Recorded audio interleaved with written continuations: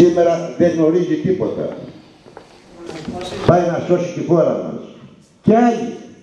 Ακούσαμε και προχθές ένα νεολαίο, ένα τρίτονα αρσένη. Αυτά δημιουργούν στην κοινωνία και στα μέλη μας προβλήματα, πικρίες. Ακούσαμε και κάποιον άλλο που είπε ότι δεν είναι επαρκής ο πρόεδρος. Αν είναι δυνατόν. Ο πρόεδρος εξελέγει από το συνέδριο, αυτός είναι ο πρόεδρος του Πασόκ, αυτός οδηγεί το Πασόκ και θα κρυθεί από τον κόσμο στις επόμενες εκλογές. Άρα αυτοί οι κύριοι να σταματήσουν και πιστεύω οι πολίτες έχουν αντιληφθεί τι παιχνιδάκια παίζουν.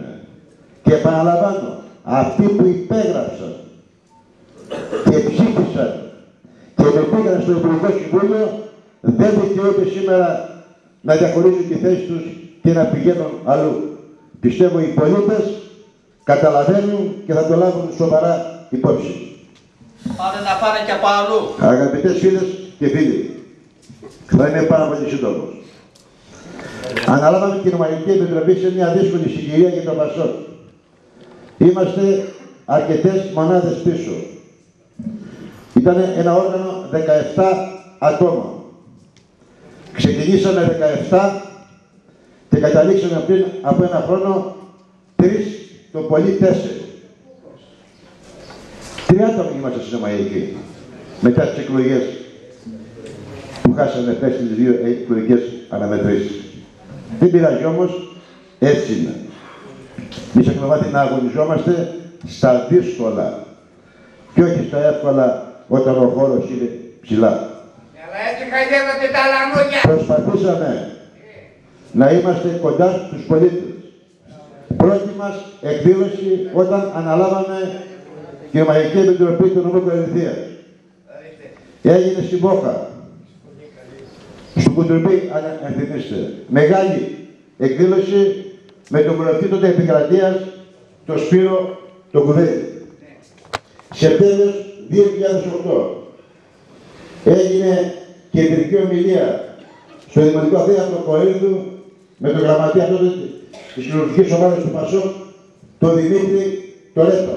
Ήταν μια πράγματι μεγάλη συγκέντρωση, ήταν μια συγκέντρωση που έδειξε ότι το Πασόκ αρχίζει να ανεβαίνει και να περνάει στα ποσοστά τη Νέα Δημοκρατία. Το θέμα είναι, υπήρχε άλλος δρόμος. Μέχρι τις τελευταίες εκλογές, πολλοί από εμάς, είτε ήταν υποψήφοι είτε όχι, είχαμε ένα εσωτερικό δίλημα.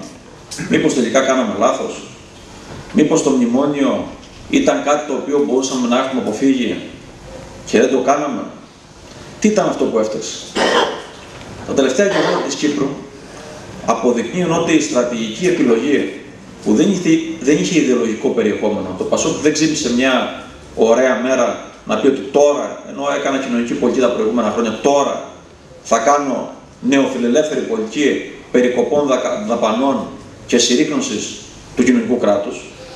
Δεν φτάσαμε σε τυχαία αυτό, δεν ήταν μια ιδεολογική επιλογή, ήταν μια επιλογή επειδή δεν μπορούσαμε να κάνουμε κάτι άλλο.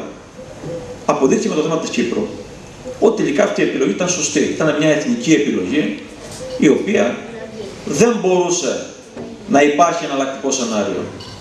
Και παρόλο που ακούγαμε αντιπολίτευση από τον σημερινό Πρωθυπουργό το 2010 ότι οδηγήσαμε τη χώρα στο μνημόνιο και στις μνημονιακές πολιτικές, μετά τα τελευταία γεγονότα καταλάβαμε ότι όλη αυτή η ρητορία, ότι μπορούσαμε να βρούμε χρήματα από τρίτες χώρες, από τη Ρωσία, την Κίνα, ότι θα μπορούσε η ενέργεια που κρύβουμε στο Αιγαίο να δώσει λύσεις, ενώ στην περίπτωση εκεί που υπήρχαν αυτά παραδείγματα ενεργειακού πλούτου, ούτε εκεί δόθηκε λύση, εκτός ευρωπαϊκού πλαισίου, ούτε εκεί βρέθηκαν χρήματα από μια χώρα που είχε πολύ μεγαλύτερα συμφέροντα όπως είναι η Ρωσία στην Κύπρο από ό,τι είχε στην Ελλάδα. Καταλάβαμε λοιπόν ότι τελικά δεν κάναμε μία λάθος επιλογή. Απλά κάναμε τη μόνη επιλογή.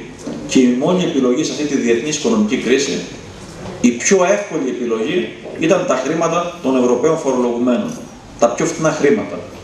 Το ζήτημα τώρα είναι ότι όλα αυτά που μεσολάβησαν, όλα αυτά που έγιναν και τα οποία σήμερα ενστατίζεται και η Νέα Δημοκρατία, παρόλο που είχε μια άλλη στρατηγική τα προηγούμενα χρόνια, πού θα μας οδηγήσουν, πού θα οδηγήσουν τον τόπο; αυτό που ζούμε σήμερα θα είναι μια συνεχής κατάσταση, ποιος θα την αντέξει; Σίγουρα όχι πολύ.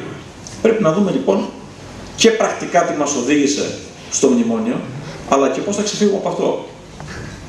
Υπάρχει μια ρητορία η οποία αφορά όλες τις κομπλεξικές, το λέω έτσι, δυνάμεις που έχουν μισήσει την γέννηση του Πασό και την νίκη του 1981, από την άκρα δεξιά μέχρι την άκρα αριστερά, που θέλουν να πείσουν τον ελληνικό λαό ότι όλα αυτά είναι το Πασό.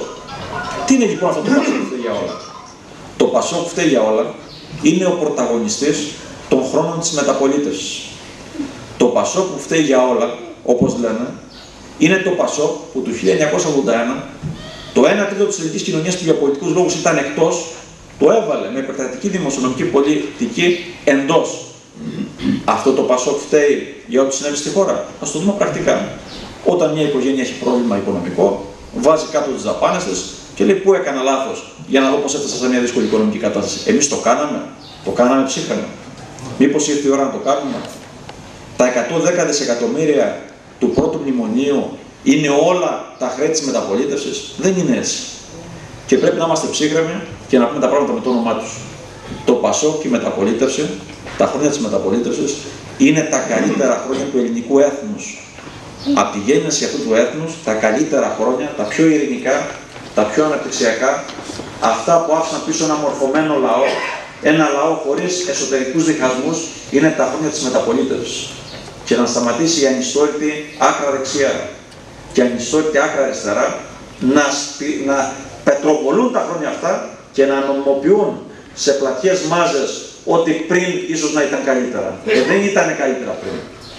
Να θυμηθούμε ποια ήταν η Ελλάδα πριν το 1974, να θυμηθούμε ποια ήταν η Ελλάδα πριν το 1981 και όχι να κάνουμε ανιστόρητες αξιολογήσεις απαξιώνοντας το ιστορικό κίνημα, το λαϊκό κίνημα που ήταν το πανελλήνιο σοσιαλιστικό το οποίο με τον ιδρυτή του Ανδρέα Ανδρέου κατέφερε μια χώρα η οποία ήταν στο περιθώριο των ευρωπαϊκών και